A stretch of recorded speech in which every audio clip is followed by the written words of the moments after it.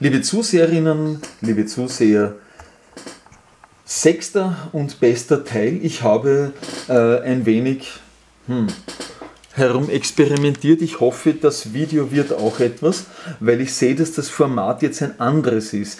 Ich habe eine schwächere Auflösung genommen, das heißt, es sollte jetzt für dich halber Download sein. Also das heißt, was mir die Sabina schon vor längerer Zeit gesagt hat, mach was beim Download, dass eben die Leute weniger Volumen, Datenvolumen verlieren. Ich hoffe, das funktioniert. Für mich auch eine neue Erfahrung, weil das Format schaut jetzt komplett anders aus. Aber egal, probieren wir. Vielleicht, vielleicht funktioniert es ja doch. Wenn nicht, dann bitte gleich in den Kommentaren rückmelden, weil ich sehe nicht, wie das jetzt werden wird. Es schaut nur anders aus, das Format. So, worüber wollte ich jetzt reden? Noch ein paar wenige Worte zum Horoskop. Wir sehen hier an der Quadratur zwischen, Mo, zwischen Merkur und Neptun, dass das ja, mit den Krankheitsmaßnahmen nicht mehr so richtig läuft. Ja, also hier schlägt sich, hier schlagen sich die Krankheitsmaßnahmen mit den Stazipaten, auch wenn sie noch so mächtig sind. Derzeit noch für ein paar Wochen. Und wir sehen auch hier den Kampf zwischen der Bevölkerung, Jupiter und interessanterweise Mond für den eingeschlossenen Krebs im zehnten Haus. Also das heißt, Staatssichunter gegen Bevölkerung, aber weil der Mond auch für die Bevölkerung steht, innerhalb der Bevölkerung starke Spannungen haben wir auch schon besprochen, hatten wir auch schon öfters. Wir haben hier den Jupiter einerseits hier im Schützen und gleichzeitig ist der Steinbock im vierten Haus eingeschlossen.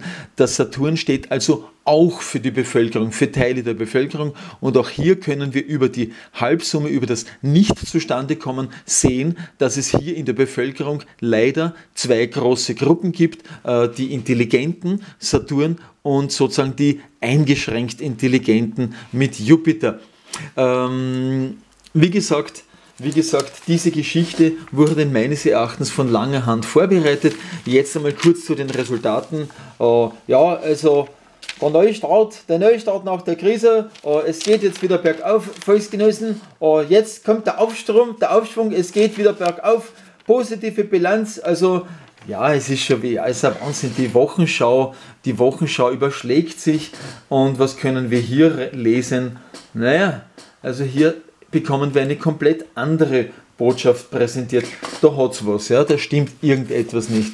Ich möchte nur mal ganz kurz aus dem Jahre 2016 ähm, eine Schlagzeile erinnern, ja, das blaue Erdbeben, das war vor fünf Jahren, ja, ähm, da waren die Blauen noch sehr weit vorne. Es hat sich aber mittlerweile dank medialer Arbeit sehr, sehr viel getan. Und ich will euch nur ein paar Cartoons zeigen hm? aus der äh, Pravda, aus der alten Pravda. Ja, ähm, sozusagen die Volksstimme für die Volksgenössen. Oh, hier ist nur die Wahrheit zu erfahren. Und hier hat man uns schon gezeigt, sozusagen einer von den dreien wurde schon entfernt mit dem Goldkettel und Ibiza um den Hals. Jupp, vor ein paar Wochen hat man uns dann folgendes, das ist alles sozusagen Framing. Man möchte uns hier was zeigen, 8 Milliarden. Ich habe in einem Video gezeigt, äh, dass das nicht möglich sein kann. Ja?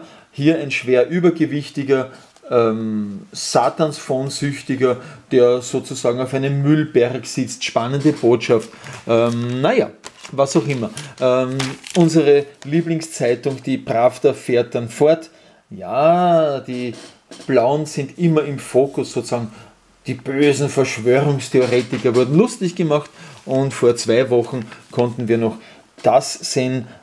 Dr. Dagmar Belakovic wird auch sozusagen als Verschwörungstheoretikerin dargestellt. Sie hat eben nur die Grundrechte der Staatsbürger verteidigen wollen. Vorige Woche auf einmal der Paradigmenwechsel. Prag hat uns alle sehr überrascht.